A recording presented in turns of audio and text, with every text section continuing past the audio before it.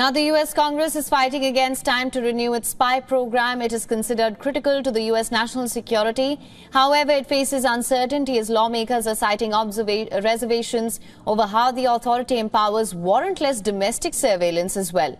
The rift in Republicans is jeopardizing the extension of the program.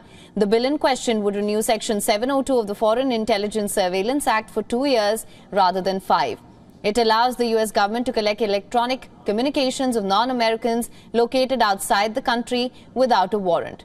But what makes it controversial is that sometimes the data of Americans who are in contact with those surveilled individuals is also collected.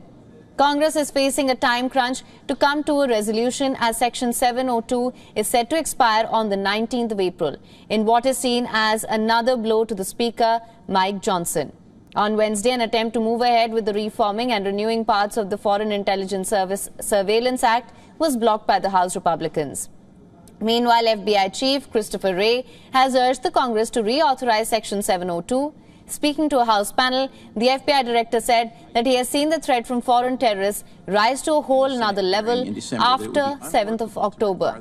He says it is an absolute indispensable tool in their fight against foreign adversaries.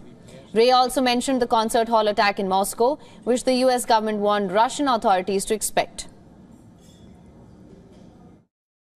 It is critical in securing our nation, and we are in crunch time with our 702 authority set to expire next week.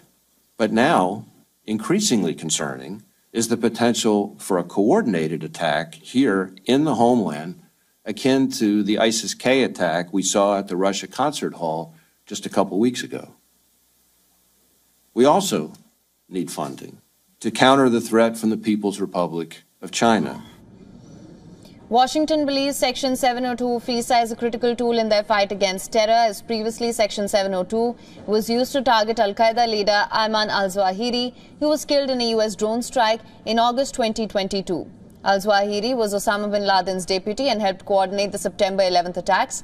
Section 702 played a role in locating IS commander Haji Imam, who was killed by U.S. Special Operations Forces in 2016.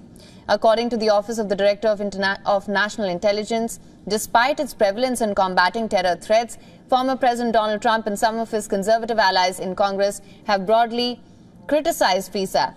He claims a portion of law needing renewal was used to spy on his 2016 presidential campaign after FBI obtained warrants through FISA to wiretap Carter Page, an advisor to Trump's first presidential campaign. Trump this week has also urged lawmakers to kill FISA. And now to get you more on this, our correspondent Susan Tehrani has sent us this report from New York. Listen to this.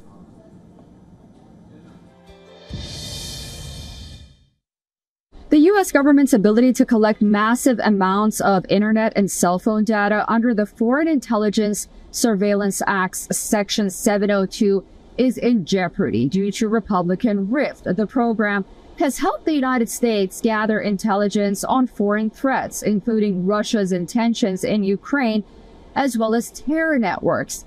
However, there are concerns about incidental collection of data on hundreds of thousands of Americans, notably without a warrant. Now, proposals to add protections for Americans specifically, such as requiring a warrant to access communications involving Americans, have been met with resistance from the FBI and intelligence agencies. They argue that it would hinder their ability to respond quickly to threats. The program's authorization is set to lapse on April 19th, and lawmakers are searching for a plan B to extend it. The debate highlights the balance between national security and privacy concerns at a time when the FBI warns of heightened terror threats on the homeland. Susan Tehrani reporting from New York for WION World is One. For latest news, download the WION app and subscribe to our YouTube channel.